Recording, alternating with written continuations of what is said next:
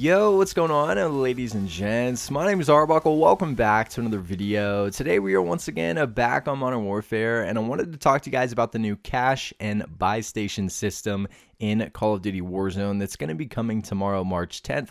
Uh, this is a brand new system in the game that seems to be very interesting that allows you to use cash that you find around the map to purchase kill streaks with your teammates. It also allows you uh, to even possibly bring back a teammate that has died by paying a certain amount of cash, which is a really interesting feature. Obviously, tomorrow we will get more details and figure out exactly how that is going to work. But as of now, uh, when you're looting the map, just like in any other battle royale, whether it's Fortnite, Call of Duty Black, blackout Obviously, you have to find weapons. You walk around, you find all kinds of stuff. Here in Warzone, you're not only going to find weapons, but you're going to find stacks of cash. Now, you'll find smaller stacks of cash that are obviously a smaller amount of money, and you might you might find a giant stack of cash, which might be a ton of money.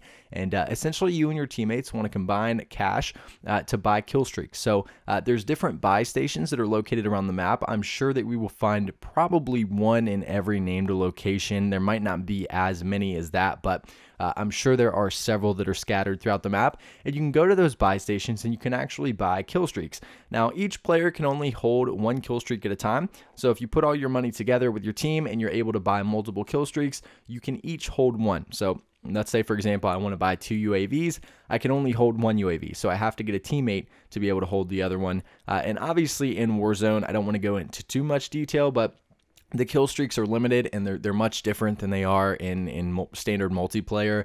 Uh, for example, the UAV doesn't actually cover the entire map. It only covers uh, the specific region that you're in and it doesn't last as long. So that kind of thing. But uh, essentially you get this cash, you can buy kill streaks and, uh, and use those kill streaks throughout the map at the different buy stations.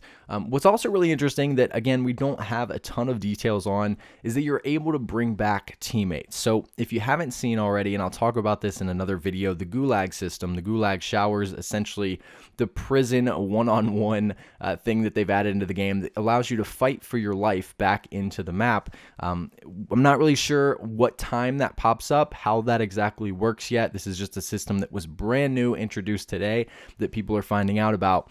Um, but you can also, if they fail out of the gulag system, if they, they do the 1v1, they can't fight for their life, they end up dying and they don't make it back onto the map, you can potentially be bought back into the map, which I think is really crazy. There's so many different ways to die in Battle Royale and still make it back into the game.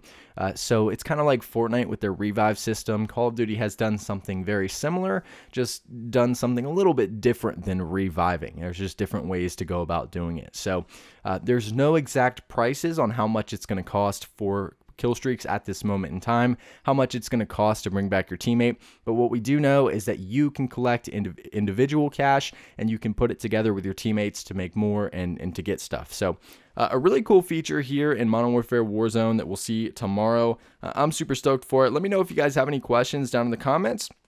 And uh, I'll be sure and try to help some of you guys out. But I really hope you guys did enjoy this video. Please, please make sure to subscribe to the channel if you haven't already. And I will see all you guys in the next video.